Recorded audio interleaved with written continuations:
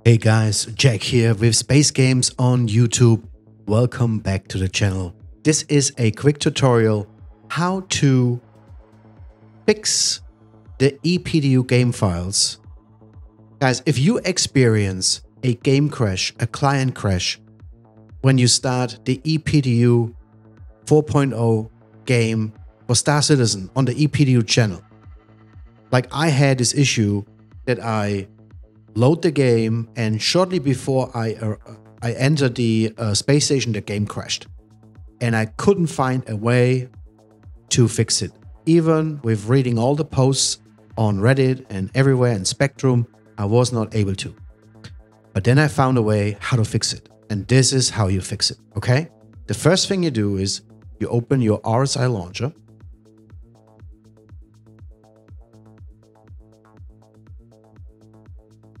Okay.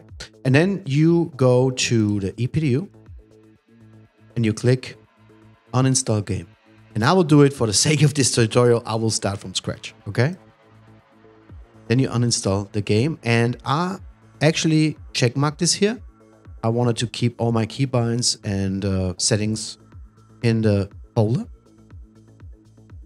So it is now uninstalled completely. Next thing you do is, um, in my opinion, you also go and change your local app data. If you don't know how to do this, just click the uh, Windows button on your keyboard and R, and then local app data, and you basically go down and find Star Citizen. Uh, there's a lot of crap in here, see? and you delete your folder here. Okay, done. Next thing, what you do is not install the game, okay? You're closing the RSI launcher and you close it for good, right? You just quit. And then what I do, I use the SC, SC launch configurator.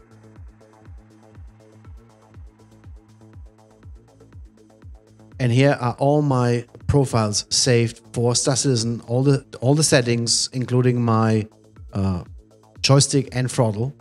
But what, what you can do with this tool is you click on plus and you create the EPTU folder. Okay, create. And now the live environment free 24 free is being copied to the ePDU channel. And if you use the SC launch configurator, you get all the settings as well, including your keybinds. Also, you don't have to do this step.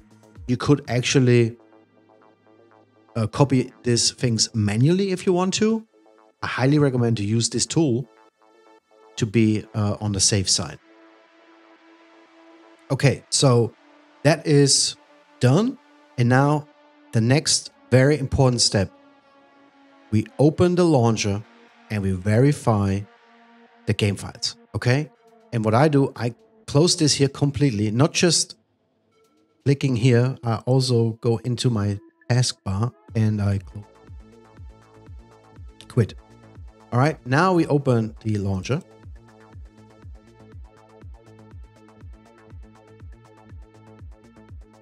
And it says install game. Don't click on that, okay? Go to the gear icon and click verify game files. Knowledge and confirm, of course. Now, after the verification, the game will also update game, okay? This will take, of course, a while, depending on your uh, internet speed. All right, guys, so the game is almost verified and patched. We have to click this verify has been completed. Very nice. Okay, so let's launch the game. All right, we are in game. And I will go in.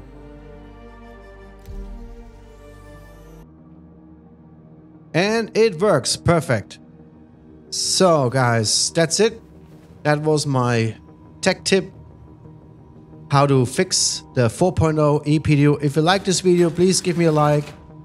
Subscribe for more content. I'm streaming live almost daily Star Citizen and other space games. Thanks for watching, and uh, I might see you in Pyro. See you in the worst, guys. Take care, and as always, be respectful. Bye bye.